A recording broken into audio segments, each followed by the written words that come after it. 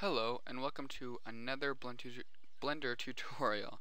Today we're going to learn how to do uh, booleans with the the bool tool and it's an add-on that yeah, you'll install and you don't have to. I think you can just use your modifiers here but I, I find that I like it over here and I uh, I like it. So this is what this is the object that we're going to create and as you can see we can grab it and move it and it's kind of interactive. So uh, if it comes outside the bool it's just a cube and if it goes in, it turns into four cubes. So, uh, well, four in this little area. Whole bunch of cubes. Anyway, so let's go ahead and get started. Uh, first of all, we have to download the add-on. So I'm going to include a link in the description, and you can go ahead and click on that. And then it'll pull up this. Go ahead and click on this top one. I think you click on either one of them. It doesn't really matter. Uh, I'm going to right click and hit save link as so I can save it to a specific spot. If not, you can just click on it and it'll download to your downloads. But I'm going to do this so it's a little more organized. So uh, just going to save and show in folder. And then I'm going to right click on it and you're going to have to use an extractor and if you don't have one just go ahead and download one but I think most computers should have an extractor and you go ahead and extract it and you'll get this Python file. Now, there's some errors with this, so I'm going to show you what the error is, so that if you get it, that's okay. So I, I just, you can close out of that or minimize it, because you're going to need it here in a minute if you get this error, which you probably will. Go to Blender, go to User Preferences, uh, you can go ahead and type in bool tool and see if it's already installed, but I doubt it because I don't think it comes, yeah, so I don't have it. I'm going to install from file and I'm going to go to where uh, I'm going to go to where I installed it to or not installed but downloaded it to uh, and I'm going to click on it and hit install from file.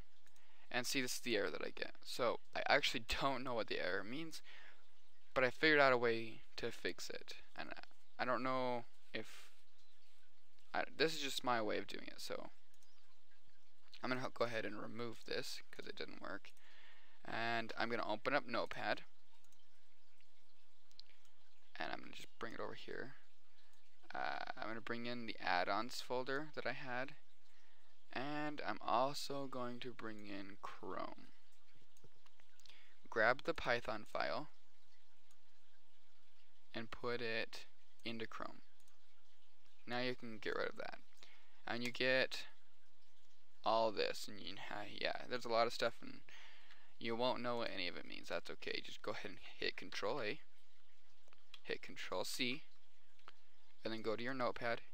Hit Control V. Hit File. Save As.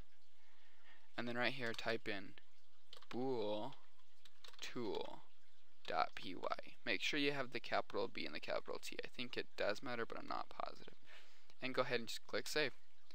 Exit out, exit out, uh, install from file, and then click on the one that we just created. So booltool.py. Hit install from file, and it works. So that's how we get it working. So go ahead and exit out of the user preferences now. And let's get started. Uh, go ahead, we're going to use this cube. This is the one that's going to be cut into. Uh, so go ahead and hit Shift-D to duplicate it and just move that cube. This one's going to cut into this one. So I'm going to hit Z so we can go into wireframe mode and hit 1, uh, 5, and then I'm going to move it so it's just cutting out the top section, top right section, and I'm going to use these axes because I know the axis is the middle of the cube at that point. So I'm going to align that with the axes. And then I'm going to go to top view using 7, and you can see it's clear over here. I'm going to line it up over here too. And I'm going to get in here real close, close as I can. And voila. We now have it looks like it's cutting out that top section. Well, we haven't cut it out yet. Now, because we just installed that bool tool, you can click right here on the bool tool, and the first one you click on is going to be the one that cuts into this the last one. So this one's going to cut into this one if we hit difference. Boom, it works. And it's live editable. So I can move this and it'll be fine. So I just right click to put it back where I had it. And I'm going to hit 7. I'm going to hit Shift D to duplicate it. And I'm going to move it into this spot. I'm going to hit uh, Z for wireframe mode again. And I'm going to position it. Was I not? There we go. So that it's right there. And you can see it doesn't cut in just yet. That's okay, because it doesn't duplicate the boolean as you do it. And I'm going to show you a little cool trick here in a minute. But I just want to show you that bool first. And I'm going to move it down. And I'm probably going to go into a side view so I can get it just right. Line it up with those axes. And I'm not going to cut it out just yet. I'm going to show you a, a nifty little trick. So now I'm going to hit this one and this one. Go to 7 view, or yeah, hit 7, and it'll take you to top view. Hit Shift D, duplicate it, and line it up over on this side. Now, right here, it's going to be exactly the same. So I'm just imagining it cutting out this, and that's not what we want. We actually, I want this cube to cut out right here, not there. So, I'm going to go 1, uh, not 1, uh, 3, and I'm going to make sure that those two are selected. Go back to 3, and then hit R, and hit 90. And 90 just means 90 degrees. And now, I'm going to cut out that spot instead.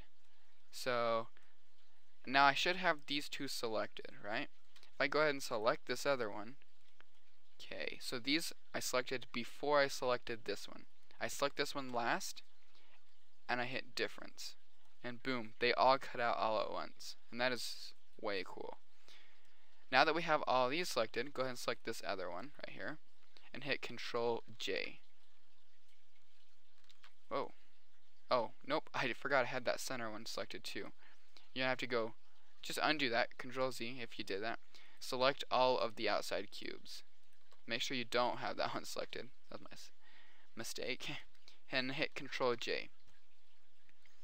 Now you have one object that has these cubes all in there. So uh, now I'm going to go to, I'm going to hit 3. So I go to the side view. I'm going to go to the modifier tab, hit add modifier and array. Uh, oh, I want 1 instead of 3, not 1, not 3. Anyway, so I want the front view. And you can see it duplicated that and it made this box bigger. And if you can see it, the it interacts with it live. So that, uh, that's pretty cool. But it's not quite giving the same effect we want because we have we have a cube here and a cube here. So it's twice the size of this one cube. So I'm going to do, so I'm going to hit S, middle mouse button, I'm going to lock it to the x-axis. Uh, and then I'm hit 0.5 on the keyboard. That makes it exactly the same size as this cube. Now if I just increase this count here, the array modifier will take care of the rest. And we now have this cube that will just keep going. Now I'm going to show you something cool because the modifiers on this, you have the, you have the boolean right here, right? So I'm going to hit add modifier and array. But the problem is, is it's actually arraying this over here also. Which is, see, like it's arraying it here over here. Which isn't what we want. And if we were to keep doing that, it does it the whole time. Not what we want. So I'm going to undo that. And I'm going to increase that so we can see a little bit easier. And I'm just going to hit the up right, arrow right here. And boom it works seamlessly now. So, alrighty, that's pretty much the end of the tutorial. There's one more thing I didn't want to show you. If you want to be done with this and you don't want to edit anymore with the booleans, So you can change this and it'll edit. If you're done with the booleans completely with this object and you want to do something different with this object, you can hit apply to mesh. And now I can move this and it won't be affected by the booleans. So that's this Blender know-how tutorial. I hope you enjoyed it and like and subscribe. We'll we'll see you later.